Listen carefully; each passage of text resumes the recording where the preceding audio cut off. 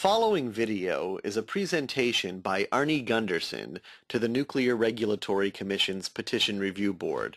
It concerns the safety of all 23 boiling water reactors in the United States. I'd like to now ask Mr. Gundersen to uh, make his statement, please. Good morning.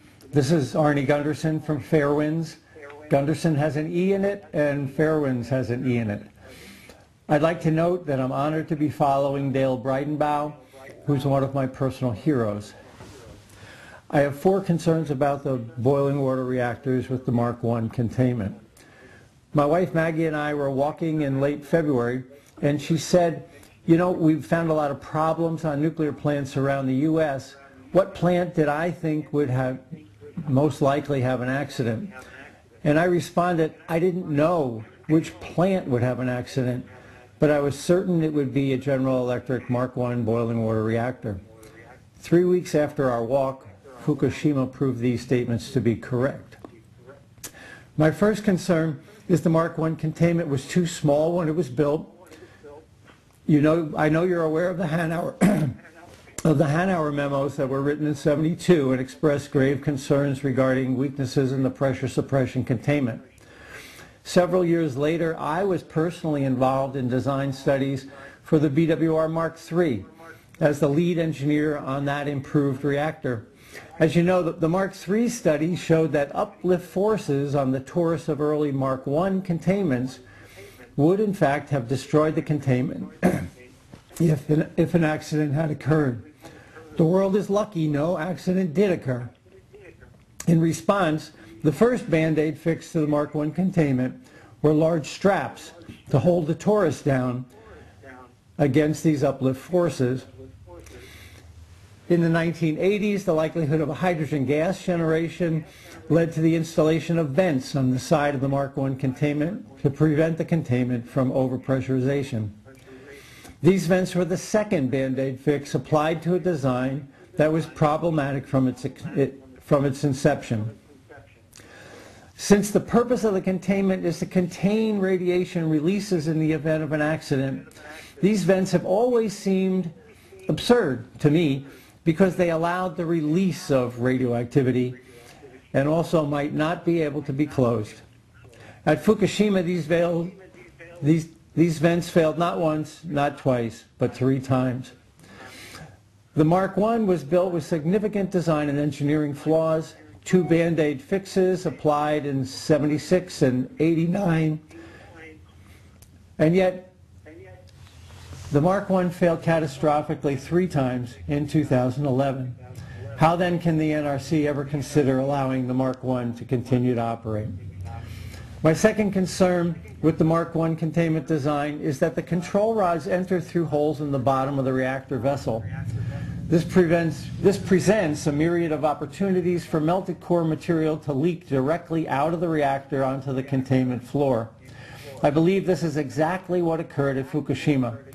The BWR reactor design is uniquely prone to melt through. And it's built in a containment that's already inadequate to handle normal reactor forces. This was, this was outlined by the uh, Oak Ridge National Laboratory in 1989 in a report entitled Failure Modes of BWR Reactor Vessel Bottom Head. My third concern is that the NRC has allowed boiling water reactors to increase their power in a process called uprate. These uprates are much larger than similar power increases allowed in pressurized water reactors. And as part of the upgrade process, many reactors have filed for exemption from federal regulations regarding net positive suction head, which is also commonly called containment overpressure credit. The NRC repeatedly allowed containment overpressure credit for these Mark I designs. And last October, the NRC staff informed the Advisory Committee on Reactor Safeguards that they assume there is zero probability that a containment system will leak. This decision allows the staff to ignore major safety regulation and give the industry wa the waiver it wants. All three containment systems at Fukushima failed and continue to leak, thus proving the NRC is wrong. The NRC should immediately roll back the power of any reactor that has received a containment overpressurization credit.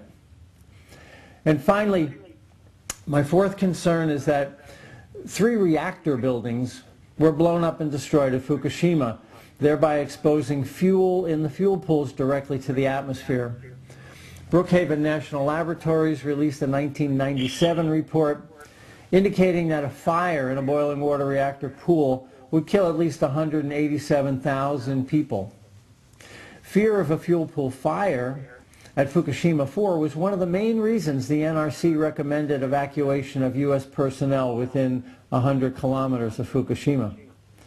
According to Dr. Gordon Thompson, there's more cesium in the spent fuel pool of Pilgrim than was ever released by every above-ground nuclear test ever conducted. The reactor building, with its fuel pool more than 100 feet in the air, is yet another poorly designed aspect of the Mark I design.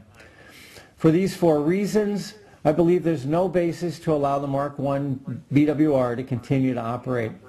True wisdom means knowing when to modify something and knowing when to stop. Sometime all the king's horses and all the king's men shouldn't try to put Humpty Dumpty together again.